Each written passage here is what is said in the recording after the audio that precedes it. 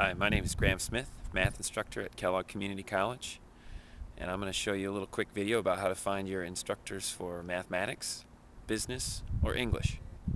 So we're all housed in the C building, and you might find it a little bit difficult to find us.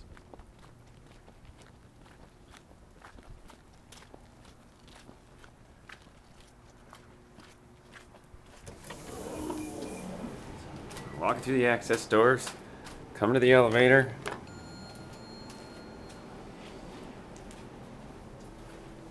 See that when you get on the elevator, we're on the fourth floor. However, the fourth floor, you have to have an access code, or sorry, a key pass to uh, to come up and see us. So what you do, go to the third floor.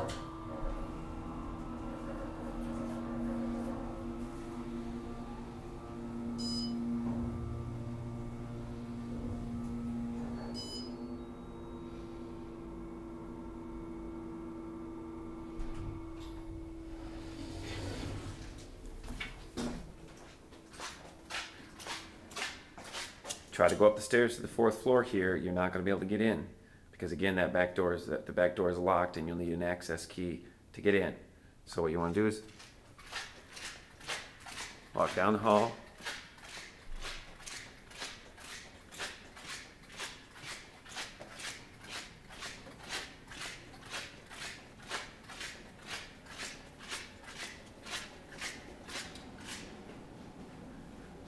Up the stairs on the south end of the building.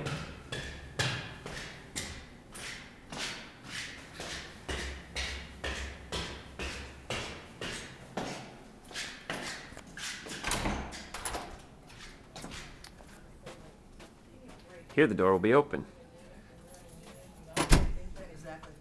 And you'll find Anne and Teresa, and they will welcome you and let you know where you can find your instructor.